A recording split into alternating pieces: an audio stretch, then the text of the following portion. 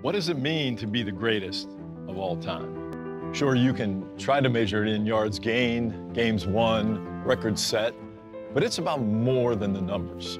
It's about how you come back from a bad play or the hardest year ever. One voice tells you to stay down and take it easy.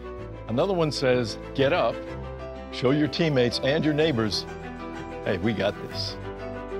Super Bowl 2021 commercial for Guinness just released an early look at their first Super Bowl ad in more than a decade, starring Hall of Fame quarterback and football legend Joe Montana.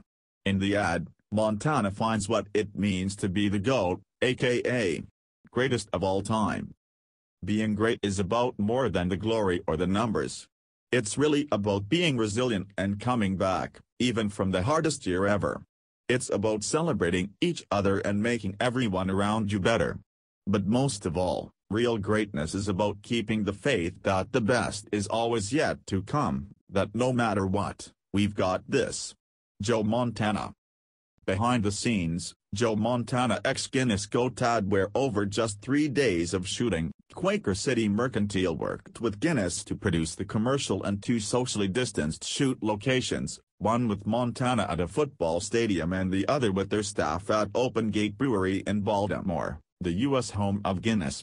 Since the pandemic began, the Baltimore Guinness Distillery has baked and donated bread to local communities in need of food.